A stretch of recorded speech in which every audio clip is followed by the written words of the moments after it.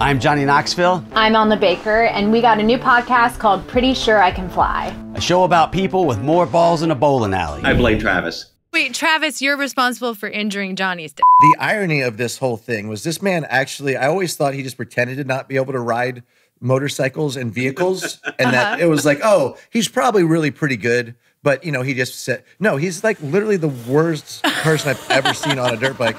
And I'm try- sorry. I mean, with, with all due respect. so the takeoff is 20 foot tall, the landing is 40 feet tall. He's never even ridden a bike like this.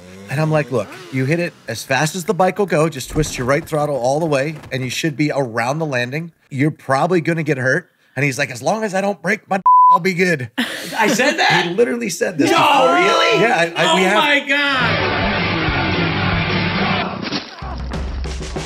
Listen to Pretty Sure I Can Fly wherever you get your podcast.